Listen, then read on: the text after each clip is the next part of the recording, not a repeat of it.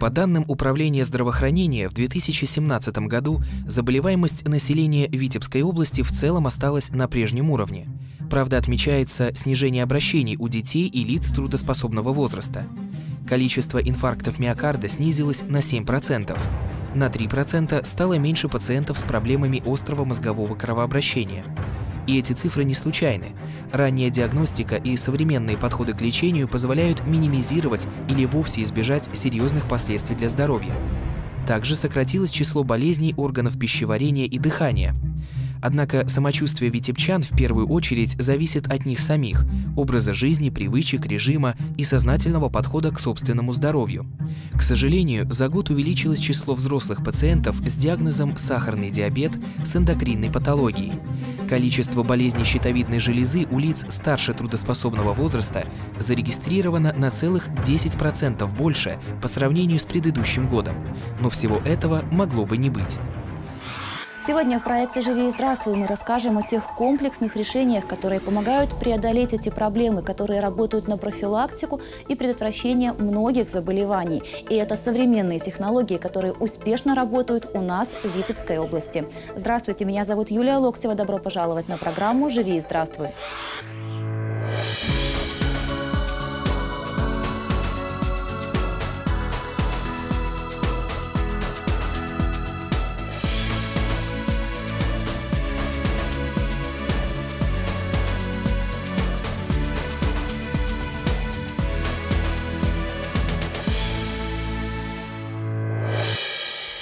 Гость этого выпуска проекта «Живи и здравствуй» – начальник управления здравоохранения Витебского облсполкома Юрий Николаевич Деркач.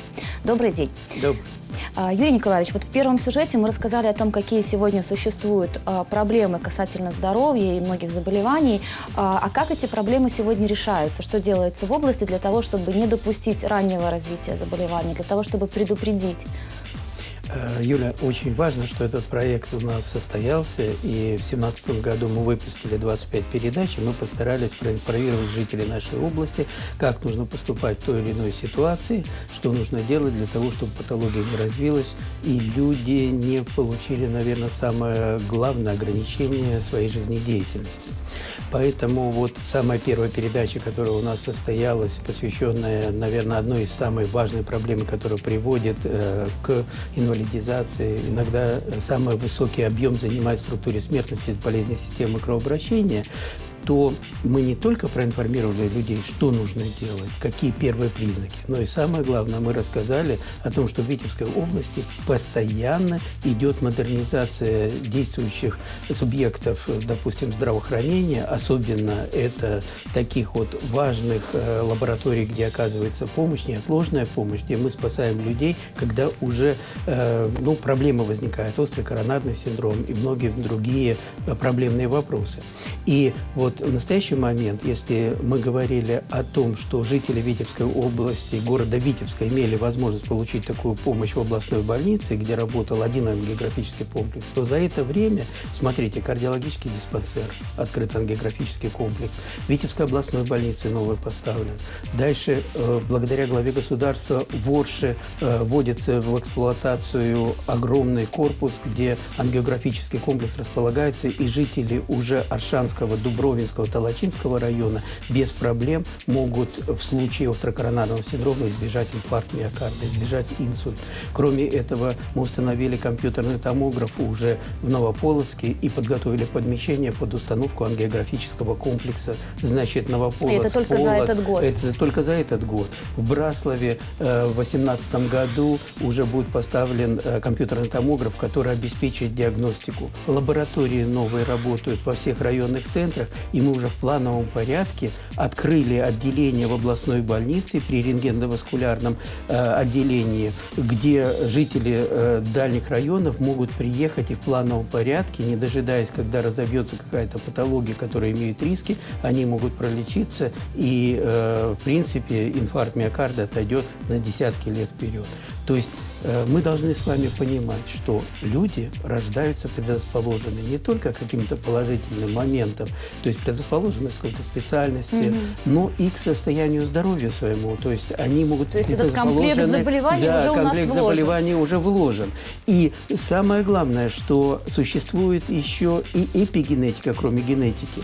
И самое главное, что этот комплект э, заболеваний, который вложен, он может не реализоваться. Если мы знаем, как уйти от тех рисков? Болезни системы кровообращения, если человек будет курить, будет э, гиподинамией, не заниматься физической культурой и спортом, не будет, э, допустим, правильно питаться, то, естественно, у него эти риски все реализуются. Инфаркт миокарда в 40-50 лет у мужчин, у женщин 55 лет 100% состоится. Но если они знают, как отсрочить, как лекарственными препаратами, даже достигнут возраста 50 лет, предотвратить артериальную гипертензию, то, естественно, человек доживет до 70 до 80 лет в полном активном э, поведенческой реакции, в полном состоянии здоровья, будет долго радовать всех. И самое главное, не нести затраты здравоохранения не будет, наше общество не будет, и мы сможем направить эти ресурсы на улучшение, допустим, качества жизни наших людей в сельской местности, в городах, создать определенную инфраструктуру.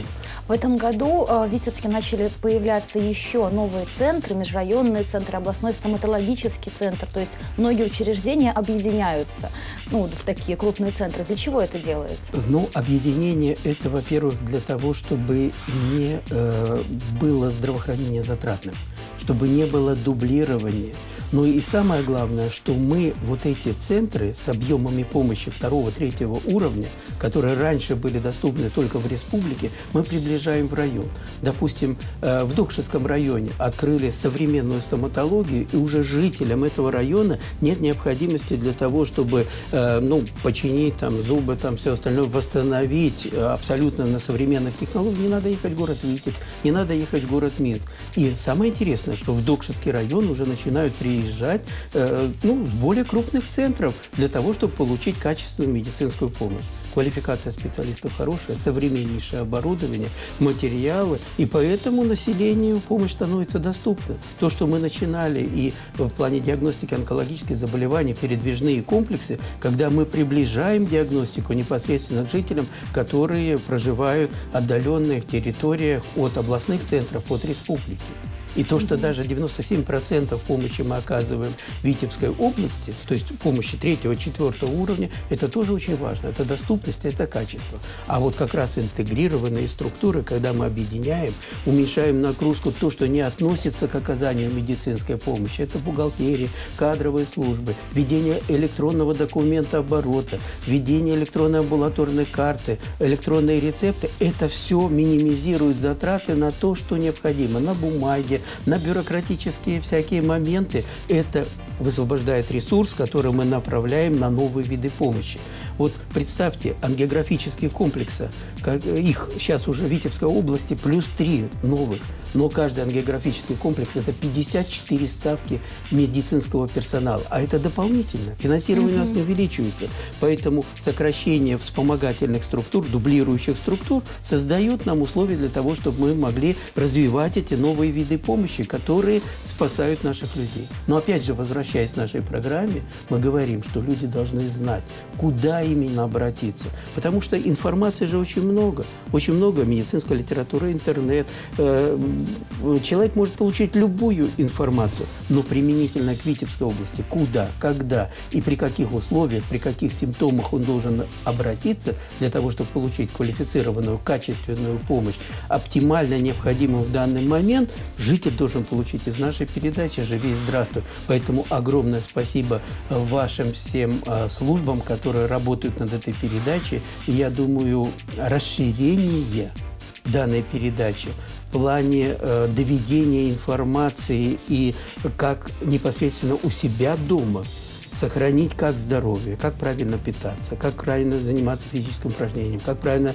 лечебную физкультуру при возникшем заболевании, как правильно принимать иногда лекарственные препараты, когда еще состояние здоровья позволяет выполнять там различные э, функции, работу и все остальное. Вот это, наверное, будет звучать со стен, э, со стен, со стен этой студии, и люди будут прекрасно э, это знать, понимать и будут использовать все, что имеется в Витебской области, и будут здоровы.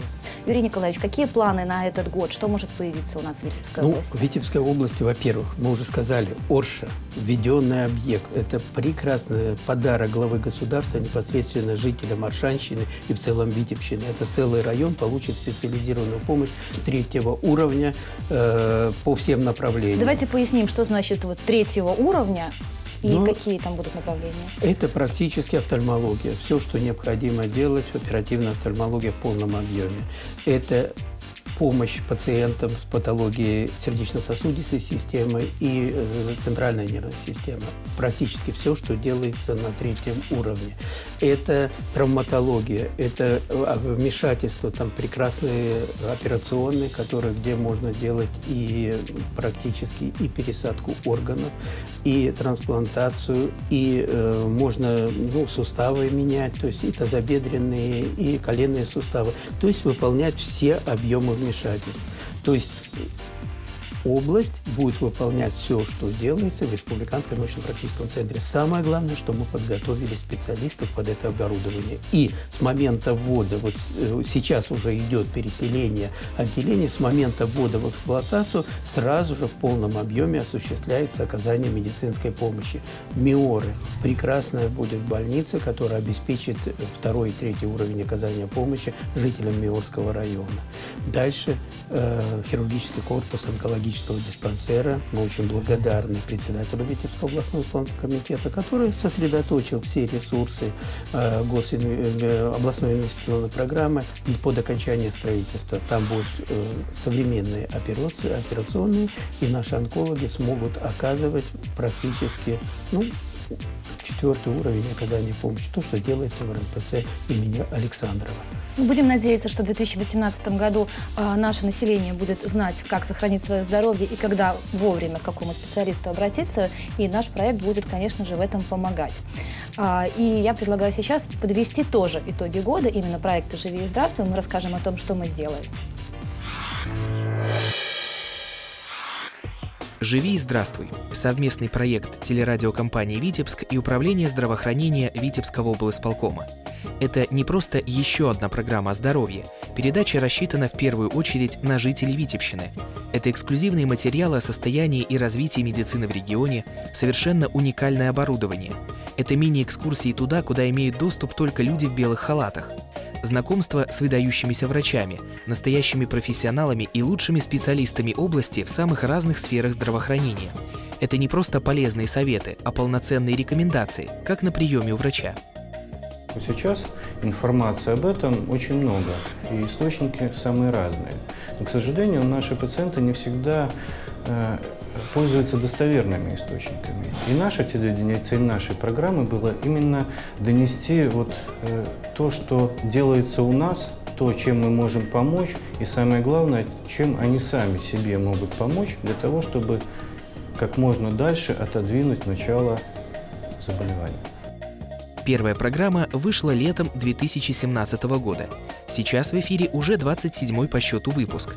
За это время героями программы стали не только медицинские работники, но и самые обычные пациенты, которые не постеснялись, не побоялись, рассказали о своем недуге. Нам удалось на реальных примерах показать последствия. Иногда несвоевременного обращения к врачу, а иногда и совершенно правильного и сознательного поведения витебчан при появлении симптомов.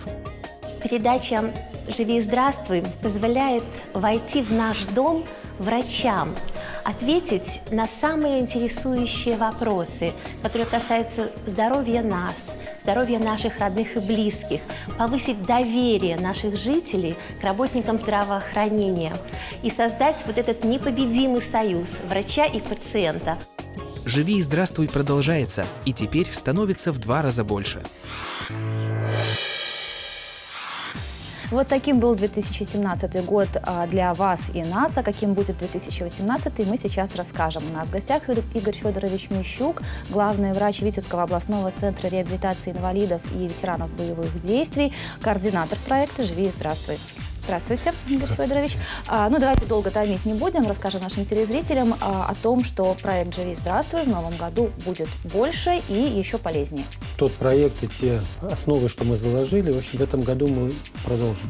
Будут небольшие какие-то рубрики, сообщения. Это, конечно, история, хотелось бы коснуться, истории медицины, угу. Витебщины, развития медицины, здравоохранения и Витебской области, начиная с первых упоминаний где-то в каких-то архивных документах. Наверное, актуально было и будет всегда. Это, конечно, школа мам, это подготовка к родам, дородовый период, обучение и воспитание детей после родов, э, ухаживание, уходы за ними. Да, да, да, да, да, да. От желания... От зачатия, да, будем говорить так, от зачатия угу. до э, рождения ребенка и э, какое-то наблюдение за ним в течение несколько, некоторого времени и правильное наблюдение, и воспитание, может быть.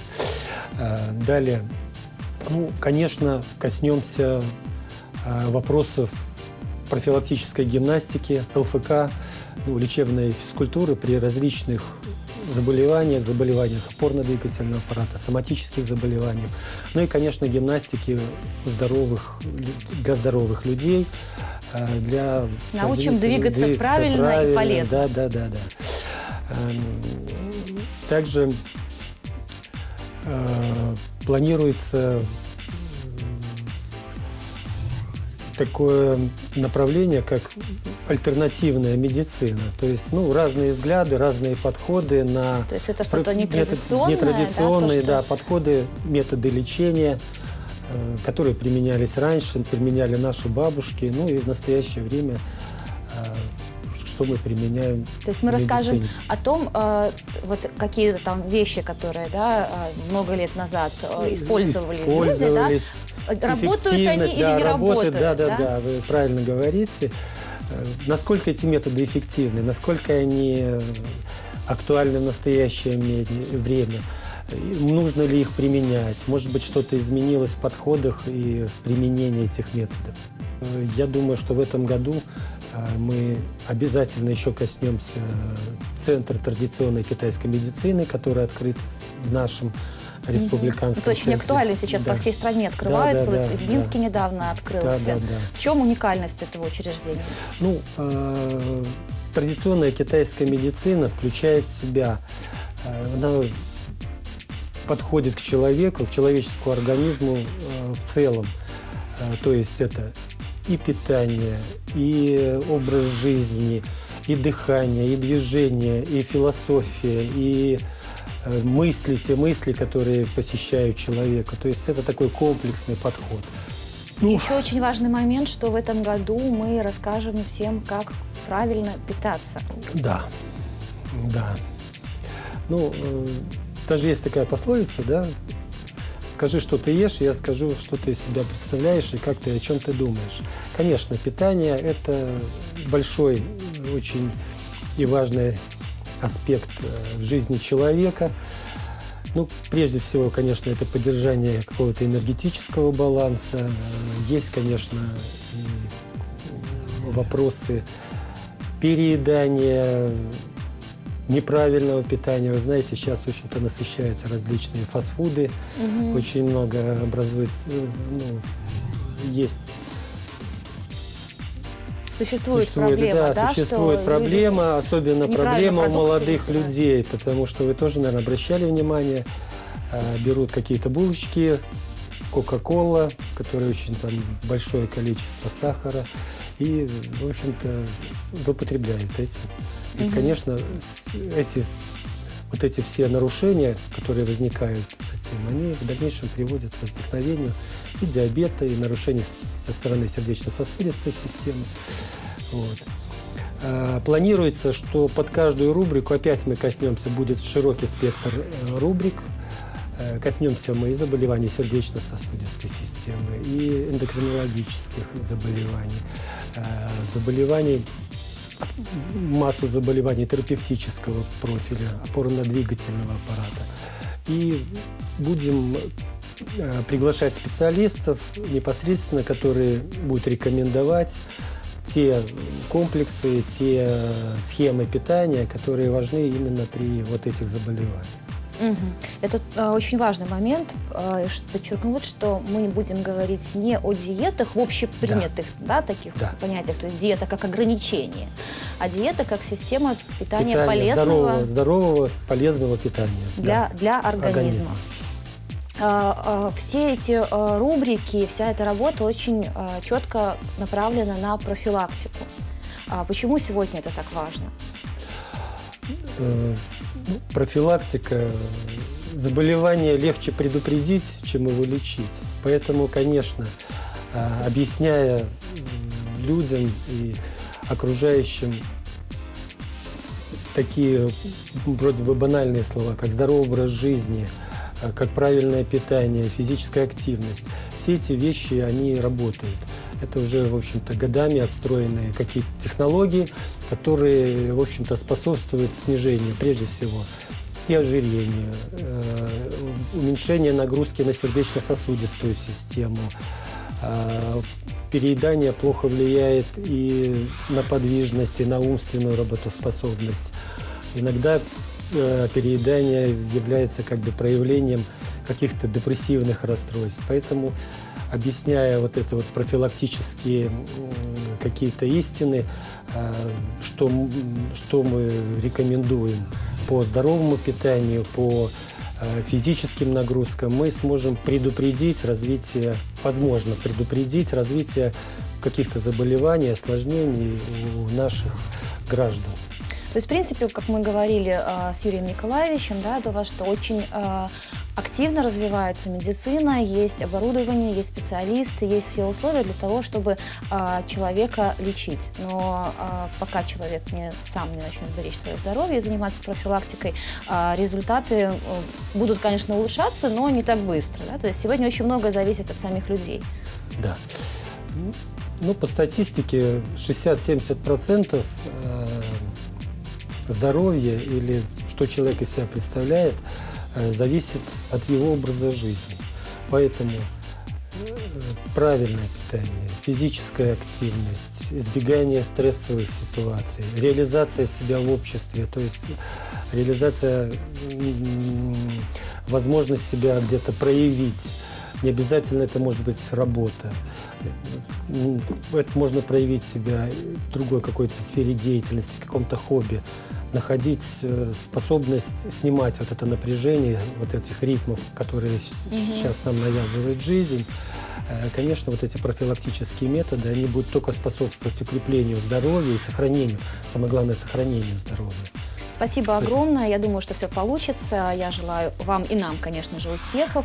Присоединяюсь к вашим пожеланиям. Всем телезрителям желаю крепкого-крепкого здоровья. Как его правильно беречь, мы продолжим рассказывать. И на прощание, конечно же, небольшой анонс проекта «Живи и здравствуй». Как сохранить здоровье, при каких симптомах и куда обратиться за помощью?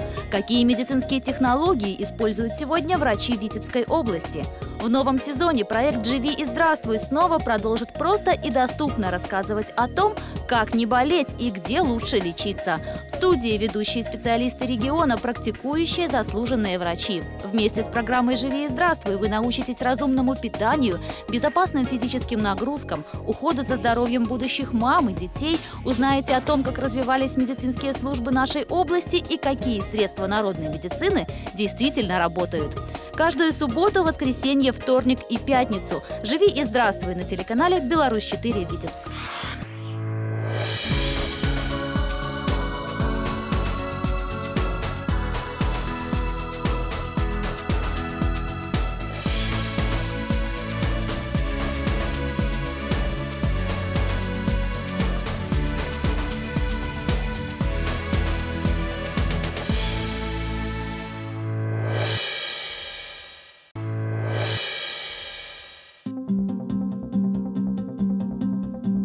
Нас не приходилось пользоваться проверенными надежными народными средствами от каких-либо заболеваний? Раньше такие рецепты передавались из уст в уста, теперь из одного интернет-портала в другой. Мы же в проекте «Живи и здравствуй» будем проверять, работают эти рецепты или не работают.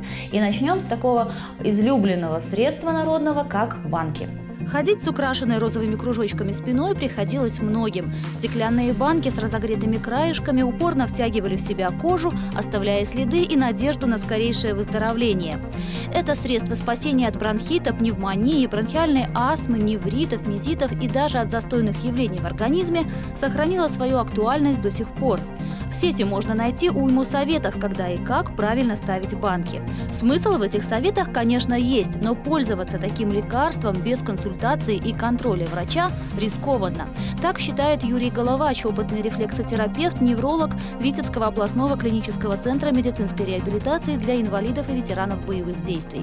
Есть, э, конечно, в принципе, те банки, к которым мы привыкли, домашние банки, которые э, использовались уже давно у нас, еще в Советском Союзе, постсоветском пространстве было такое время, когда банки вообще запрещались, потому что иногда ставили эти банки э, во время так называемых определенных заболеваний, которые не были установлены. То есть могли быть и при, при плевритах, при э, пневмонии с высокой температурой. То есть э, это как физиопроцедуры, они имеют свои показания и противопоказания. Поэтому э, если у человека хроническое заболевание какое-то, это хронический бронхит, он не имеет большого обострения с температурой, если установлено врачом, там нету каких-то э, бронхоэктазов, но есть такие заболевания, то в принципе люди могут использовать. С медицинской точки зрения использование банок в домашних условиях без консультации с лечащим врачом, как и любое самолечение, может быть опасным. В чем может быть ошибка, что люди думают, что не вылечатся банками, но не всегда узнают природу своего заболевания, начинают заниматься самолечением, не уточнив, что у них. То есть нужно прийти, если те же самые простудные явления, то обязательно должен врач прослушать, посмотреть, исключить пневмонию. Сейчас бывают различные атипичные виды, и можно э, самолечением достигнуть того, что пойдешь в тяжелом состоянии в больницу. Какие-то сопутствующие диагнозы, например, ИБС, сердечная недостаточность, какие-то нарушения венозные и э, ставя на определенные зоны, они тоже могут быть навредить себе. Поэтому, в принципе, э, так сказать, э, сами просто банки использовать на дому обычные, надо все равно посоветоваться с доктором. Можно ли ему это делать и в каком случае. Особенно не рекомендуется это делать в острую фазу определенных инфекционных заболеваний. То есть, когда есть высокая температура, когда есть даже просто послетемпературный синдром, когда есть инфекция, и в этот момент вот эту вот процедуру делать, естественно, не желательно. То же самое, что касается в отношении, если используются банки, иногда на спину, на поясницу. То есть, во-первых, на зону поясничного отдела, тоже там на зону так называемых э, почечных болей могут быть как за счет позвоночника, также они могут быть не за счет позвоночника. Различные, э, различные боли, которые э, быть причина совсем другая. Почечные могут быть, почечная колика может быть, может быть э, какие-то заболевания другие кишечника или язвенная болезнь, то есть атипичная. Поэтому всем нужно посоветоваться, и вот банки уже особо нужно советоваться с доктором. Некоторые пытаются ставить банки на когда значит, воспаление какого-то сустава, тазобедренного, то есть могут усилить только наоборот когда там уже есть воспалительный, и в этот момент усиление кровотока в том моменте, то есть может произойти еще большее обострение. Так что неправильно примененные банки могут оставить неприятные следы не только на коже, но и на здоровье. Вместе с тем, сам Юрий Дмитриевич такую вакуумную терапию в своей практике использует. Ведь специалист знает, как это средство работает, кому может помочь и как правильно им воспользоваться. У нас мы используем банки. Вот как бы, э, значит, э, используется как просто по точкам, по определенным зонам лечебным. Э, значит, используем мы. Используется баночный массаж – он используется по определенным тоже линиям, по определенным э, зонам, которые связаны с органами. То есть обычно в такие периоды, которые, где нет противопоказаний, например, те же самые какие-то таракалгии, боли в позвоночнике, которые отдают куда-то в спину, те же самые боли в спине, когда отдают там куда-то в эту ягодицу или в этих. То есть мы используем в таких периодах более чаще всего такие холодные периоды, не горячие. В домашних же условиях это народное средство поможет только при условии, что больной больной проконсультировался с врачом, провел процедуру в определенную доктором фазу заболевания и на определенные доктором точки.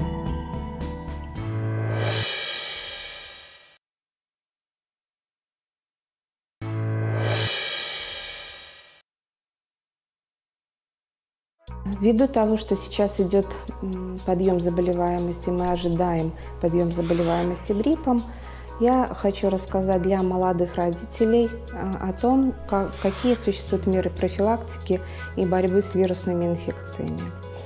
Основных два блока, которые мы затронем. Первый блок – это как не заболеть вирусной инфекцией, как не инфицироваться. И второй – как повысить сопротивляемость нашего организма или детского организма к вирусным инфекциям. А вирусными инфекциями болеет э, человек, да, и путь передачи воздушно-капельный. Когда заболевает ребенок, конечно, нужно ограничить контакты, в первую очередь с больным ребенком. Но э, ввиду того, что мы ведем очень активный образ жизни, мы ходим в садик, идем в школу, э, ходим в магазин, это э, наиболее простой, но очень трудно реализуемый путь борьбы с вирусной инфекцией. Когда заболевает ребенок, он все равно, несмотря на то, что он должен болеть дома, он идет, особенно в первые дни болезни, в садик, да, так называемые наши сопливые дети, которые идут в садик, идут в школу. Эм, чихающая мама идет на работу, потому что некому ее заменить едет в, обще в общественном транспорте конечно, является источником э, вирусных инфекций. Э, нужно знать о том, что вирусы э, любят жить там, где тепло, там, где грязно, там, где мало проветривается. И исходя из этого, чем э, чище будет воздух, чем чаще вы будете делать влажную уборку дома, если имеется больной человек или появились первые признаки катаральных явлений, чем э, лучше вы три раза сделаете влажную уборку, чем вы один раз будете использовать дезинфектант или уборку с дезинфектантом. А, проветривать нужно а, не менее пяти раз в день и обязательно одно сквозное проветривание в день. Снизить концентрацию вируса, когда вы уже заболели, помогает нам наши любимые э, гипертонические растворы. Это всем известная морская соль, которую мы используем. Мы можем ее орошать нос, да, если вы начинаете болеть, мы можем полоскать горло, тем самым снизив концентрацию вирусов на слизистых оболочках дыхательных путей. Готовить раствор можно в домашних условиях. Вы берете литр кипяченой воды, одну чайную ложку соли обыкновенной, хорошо ее растворяете, и этот раствор готов для использования. Что касается противовирусных препаратов, которые мы очень любим, и особенно молодые мамы, которым советуют бабушки, использовать оксалиновую мазь в нос, использовать все, всевозможные растворы травяные, закапывания в нос. Все это является психотерапией. И единственными препаратами, которые непосредственно обладают противовирусным доказанным действием, является ремонтадин, который используется при гриппе А, сезонном нашем гриппе, и озельтамивир. Но хочу вам напомнить о том, что должен этот препарат обязательно назначить врач. Сами вы не можете использовать его без назначения. Используется он, как правило, для лечения или для профилактики э, заболевания, но если болеет, э, заболел какой-либо член семьи. И тогда вы можете использовать данные препараты. Но если так э, случилось, что вы заболели или ваш ребенок заболел, а, вторая, вторая, второй блок э, профилактики – это как же нам повысить сопротивляемость организма к вирусным инфекциям. И поэтому здесь очень важно помнить о том, что иммунитет на 99% у нас реализуется образом жизни и только на 1% лекарствами, которыми мы пытаемся его повысить.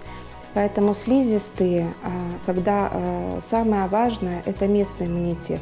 Это слизистые носа, это слизистые верхних дыхательных путей. Они должны быть всегда влажными. Если слизистые сухие, значит местный иммунитет не работает. Это а, обязательно, если ваш ребенок заболел, обильное питье, это использование тех же гипертонических растворов, это свежий воздух, это прогулки. Если ребенок болеет, но нету температуры, он хорошо себя чувствует. Не надо его э, оставлять дома в закрытой комнате э, и э, использовать еще и обогреватель. Ребенок должен дышать свежим воздухом. А, и специфическая профилактика, которую мы знаем и хорошо используем, это вакцина-профилактика. А, каждый год мы можем вакцинировать своих детей если ребенок маленький, мы вакцинируем э, родителей, мы, всех членов семьи, которые с ним проживают в одной квартире. Если беременная женщина, то мы вакцинируем тех, кто проживает с беременной женщиной. А, есть для того, чтобы э, задать вопросы и получить на них ответы, можно обратиться в кабинет иммунопрофилактики. Это центральная поликлиника города Витебска, детская, на улице Чкалова, 14В.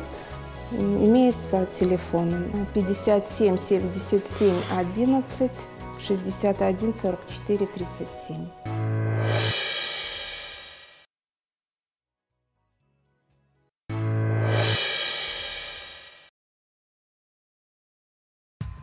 Здравствуйте! Сегодня э, я вам хочу предложить комплекс упражнений, который мы будем использовать каждое утро или же в любое для вас удобное время в течение дня для хорошего настроения и красивой фигуры. Исходное положение носочки врозь, пяточки вместе. Спинка ровненько, макушку кверху. Тянем к потолочку, к своему. Носик кверху. Повороты головы. Раз, два, три, четыре. Подбородок идет на плечо право, строго через середину и строго влево. Голову не наклоняем, макушка тянется кверху. Наклоны головы. Раз, два, три, четыре. Можно сделать несколько подходов. Раз, два, три, четыре. Раз, два, три, четыре. Вдох, выдох. Э, руки перед собой. Сильные, короткие махи. Все вовнутрь. Напрягаем локти. Раз, два, три, четыре. Раз, два, три, четыре. Вдох, выдох. Три, пять подходов. Руки на пояс. Назад отводим плечика, высоко вверх, далеко назад, хорошенько вниз. Все только назад. Раз, два, три, четыре. Раз, два, три, четыре. Это же упражнение с более сложным вариантом. Заводим локоть за голову. Рука разгибается только внизу. Тыльная сторона ладошки. Макушка тянется кверху. Раз, два, три, четыре. Вдох, выдох. Локти перед собой, ладошки параллельно между собой, макушка тянется кверху, разводим локти. Лопатки, уголки лопатки сзади внизу соединяются. Собираем локти параллельно между собой, даем рукам отдохнуть, бросаем вниз. Раз, два, три, четыре. Обыкновенный вдох, выдох. С поворотом и тянемся за кончиками пальчиков руки. Здесь ладошка уходит назад и кверху. Раз, два, три, четыре. Раз, два, три, четыре. Вдох, выдох. Исходное положение руки на пояс.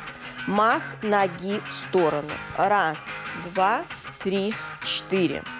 Раз, два, три, четыре. Круговое движение коленкой наружу. Раз, два, три, четыре.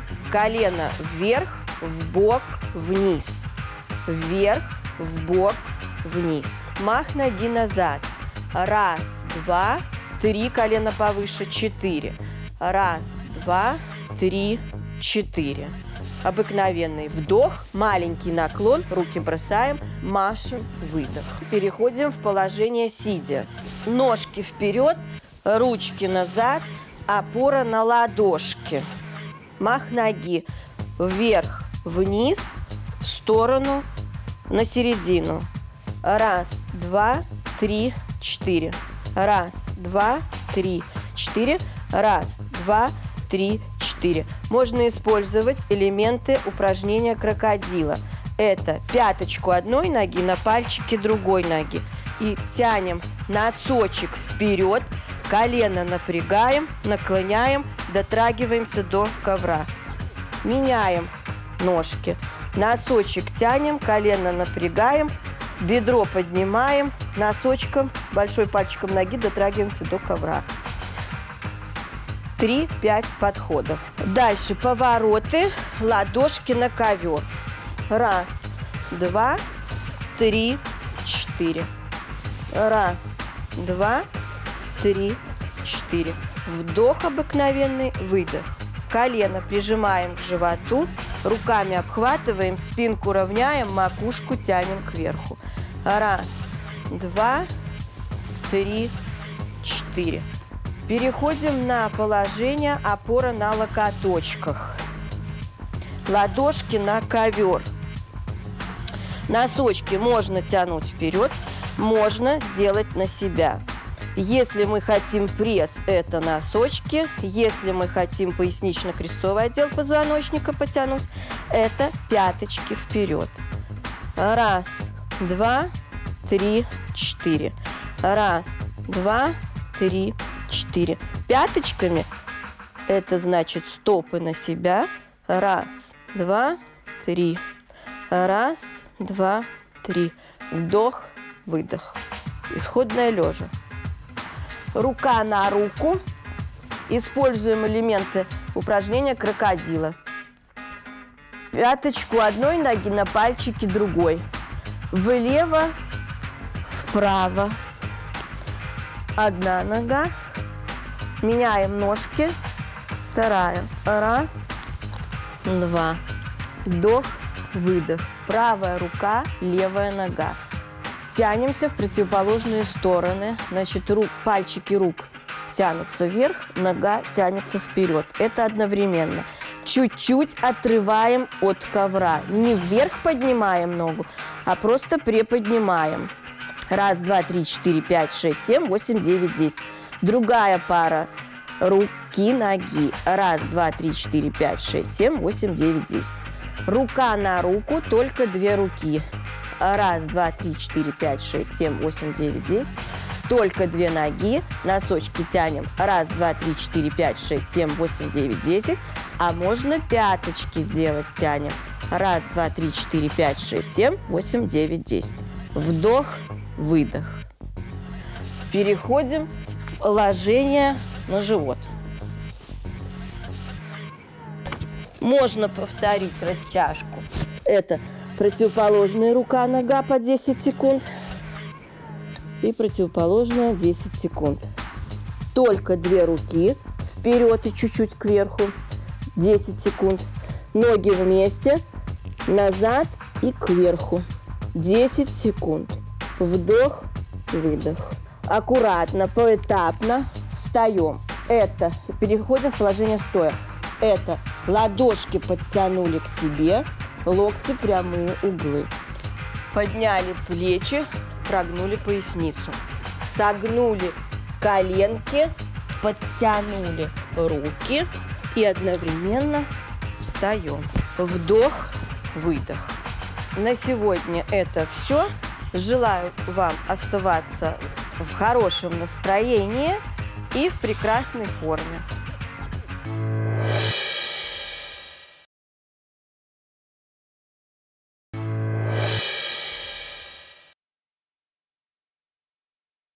Каждые шесть белорусов из десяти в нашей стране недовольны своим лишним весом в соответствии с социологическим исследованием, проведенным в Республике Беларусь. По данным э, социсследования, 60% населения нашей страны имеют лишний вес, а 25% имеют ожирение. В течение последних э, нескольких лет в Республике Беларусь наблюдается рост числа неинфекционных заболеваний, таких как сердечно-сосудистые, Э, онкологические заболевания, сахарный диабет, хронические болезни легких, которые приводят к преждевременной инвалидности и смертности людей, причем не только пожилого возраста. И ученые нашли факторы, которые влияют на возникновение и распространение этих заболеваний. И эти факторы они назвали факторами риска неинфекционных заболеваний. К этим факторам относятся потребление табака, чрезмерное потребление алкоголя, низкая физическая активность и нездоровое или неправильное питание. Сегодня мы с вами будем говорить о правилах и принципах правильного здорового питания. Когда речь идет о лишнем весе, у каждого человека сразу же возникает одна мысль – диета. Чем опасны вообще жесткие диеты? Что это всегда ограничение. То есть человек исключает из своего питания определенные группы продуктов. Организм недополучает нужные вещества. И постоянный контроль, что я съел, что я не съел, можно мне это было, нельзя мне это было. Плюс реакция организма, лишенного привычной пищи. И человек срывается на стресс. В переводе с французского диета – это образ жизни. И когда человек решает, что он будет использовать диету, ошибка одна. Или это жесткая диета, или это кратковременная диета, или это постоянная диета. Человек неправильно ставит перед собой цели. Как правило, худеем мы для чего? Наступает лето, нужно похудеть. Есть красивое платье, нужно попробовать. У мужчин немножко другие проблемы. Трудно нагнуться, застегнуть обувь. Или там на ремне для брюк уже не хватает место, где сделать дополнительную дырочку. После того, как место появилось, ушло несколько килограмм и сантиметров на талии, мы сразу забываем о диете. Нужно запомнить, что жесткие диеты никогда не ведут к длительным результатам по снижению веса. Как наш организм реагирует на жесткие диеты? Вот представьте, кормили мы его на убой. Простите меня за это выражение, но он получал все, что он хотел, в любых количествах, в любое время. И потом вдруг, в один прекрасный день, а как правило, сесть на диету мы решаем сразу, да? Или в понедельник, или в четверг, неважно. Ну все, это не ем, это не ем, это не ем. Это мы объяснили себе. Нашему организму не объяснить, почему он перестал получать вкусную ветчину, почему он получал, э, не получает теперь на утро, допустим, кусочек торта или э, не получает на утро бутерброд с такой любимой вареной колбаской. И организм нас понимает, наступили голодные времена.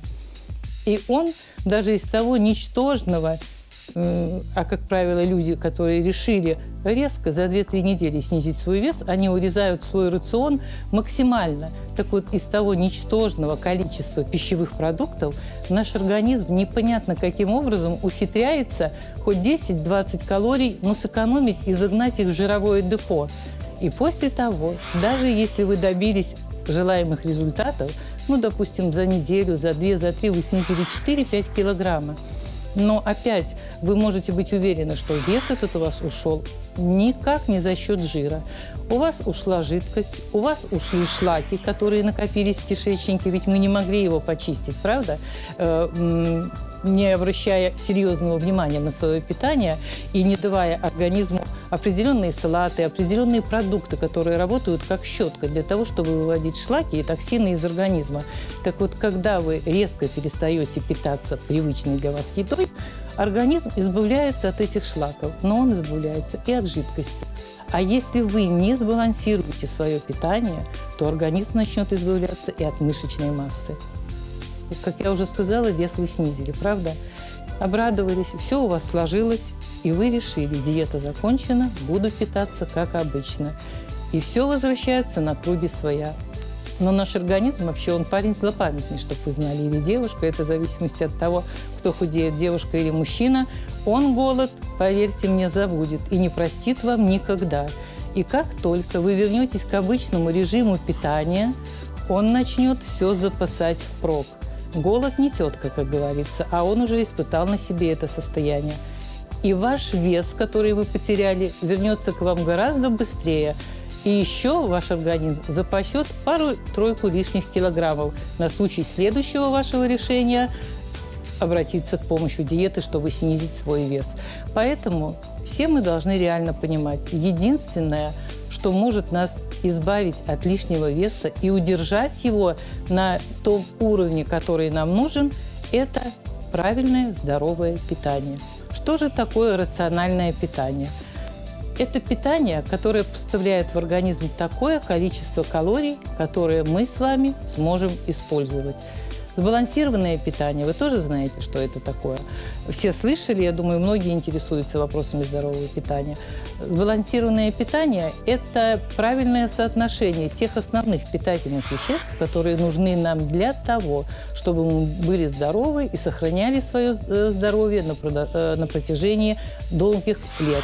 Это белки, это жиры, это углеводы, витамины и минералы. Без этого мы с вами жить не можем. Мы не сможем поддерживать свой организм в рабочем состоянии, не сможем построить э, новые клетки и не сможем сохранить свое здоровье. Отношение белков, жиров и углеводов Э, эта величина относительная. Это соотношение зависит от возраста, от рода деятельности человека, от той физической активности, которую он ведет на протяжении своей обычной жизни.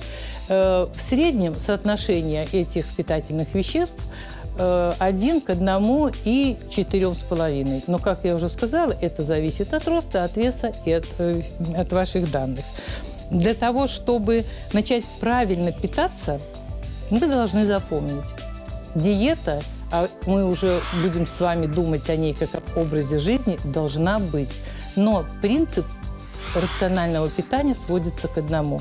Если вы что-то из рациона забрали, значит, вы должны туда что-то положить. Проще говоря, пустоту нужно заполнить, потому что если вы заберете у организма привычные для него продукты и ничего ему не дадите взамен, такой жизни вы выдержите ну, пару недель, а потом эта пустота заполнится теми же бутербродами, чипсами, пивом, газировками, сладостями, копченостями. И э, у вас появятся новые проблемы. И, скорее всего, уже не только с лишним весом, но и с вашим здоровьем. И поэтому должно быть основное правило. Правило отмены и правило замены. То есть, если что-то одно вы забрали – то должны взамен дать организму что-нибудь другое. И здесь проще всего и легче всего следовать правилам трех П. Постепенность, последовательность и постоянство. То есть вы должны вводить новые продукты постепенно. Допустим, если утром для вас обычный завтрак был это чашка кофе с сахаром, бутерброд с колбасой, то попробуйте приняв решение, что вы хотите начать правильно питаться, колбасу заменить сыром или обычный кусочек белого хлеба заменить зерновым хлебом. День, два, три. Ваш организм и вы поймете, что это лучше, чем та же вареная колбаса. Через пару дней попробуйте отказаться от кофе, который вы пили, да еще и добавляя туда до 5 э, э, ложек сахара. Попробуйте заменить на зеленый чай и уменьшить количество сахара. Через неделю вы решите, что бутерброды – это не ваша еда, и замените на цельнозерновую кашу.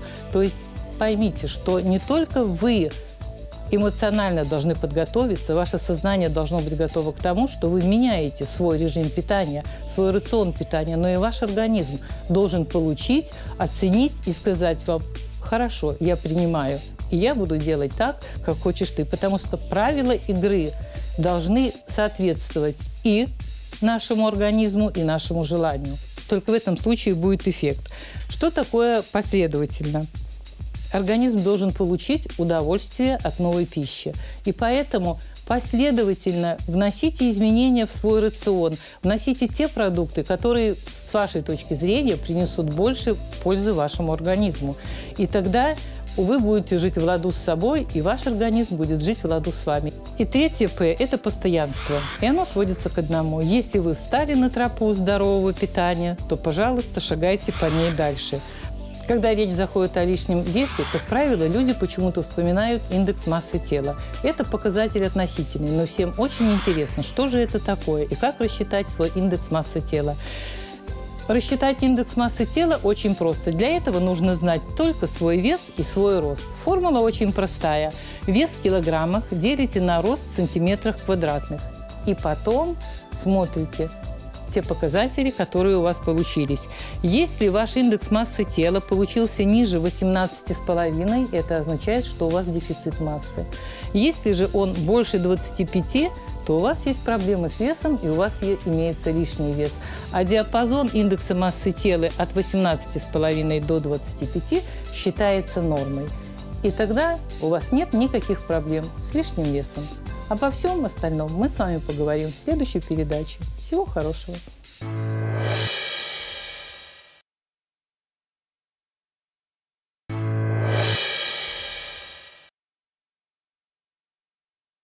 На протяжении всей истории наше учреждение образования называлось по-разному.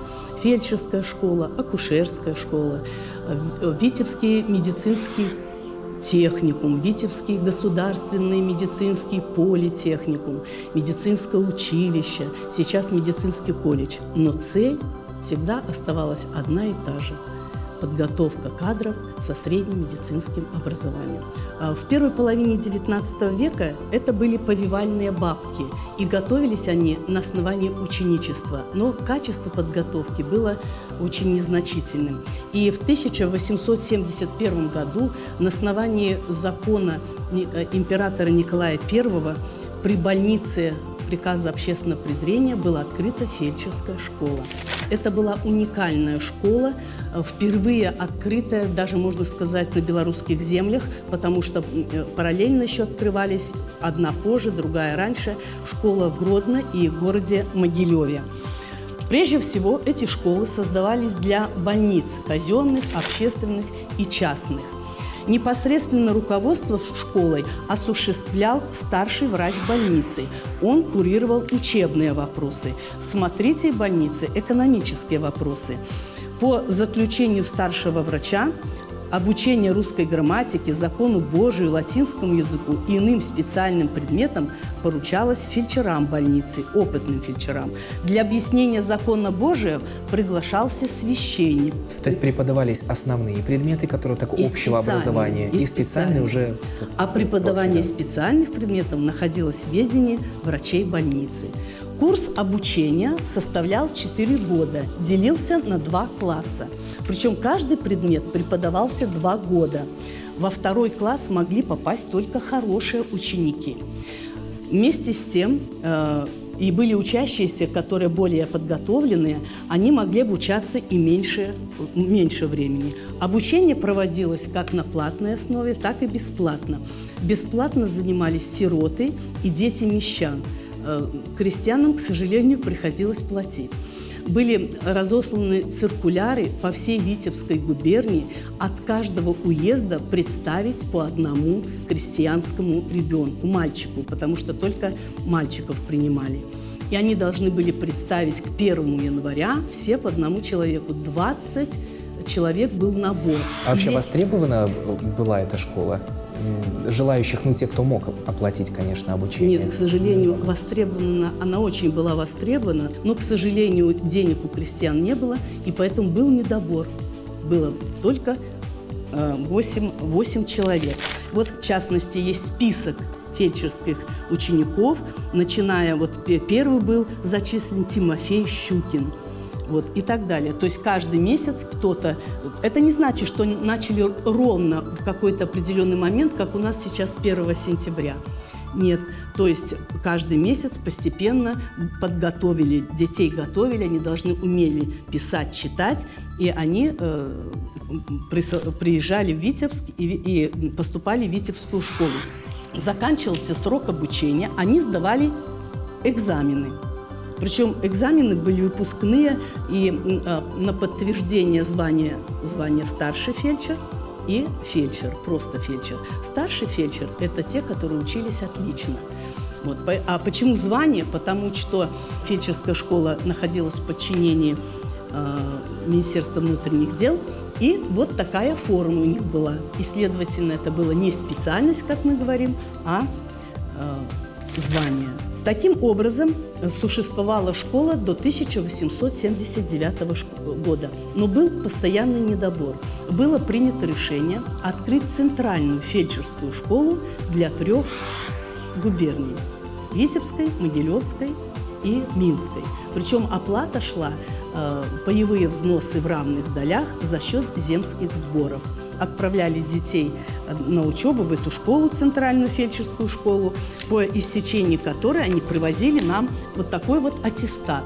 Учебный план включает следующие дисциплины. Чтение, чистописание на русском и латинском языках, закон Божий, грамматика российская, латинская, арифметика, общее понятие анатомии, основание врачебного веществословия – это современная фармакология. Правила хождения за больными, делание повязок, это у нас дисмургия, кровопускание. Дальше, возвращение к жизни мнимо умерших. Это реанимация – оспопрививание, излечение зубов, костоправное дело – это травматология современно, рецептура. Почерк врачей здесь гораздо более разборчивый, чем сейчас, и самый высокий балл здесь четверка, а была система какая, пятибальная? Пятибальная была система. Этих кадров было недостаточно. Это были несколько, по несколько человек. И поэтому потребность была такая сложная, что открывались частные школы. В частности, была открыта школа врача Чесновича. Они выпускали уже 30-60 человек. Это был дореволюционный период. В следующий раз мы поговорим о послереволюционном периоде, о том, как и кто оказывал помощь, как шла подготовка медицинских работников со средним медицинским образованием.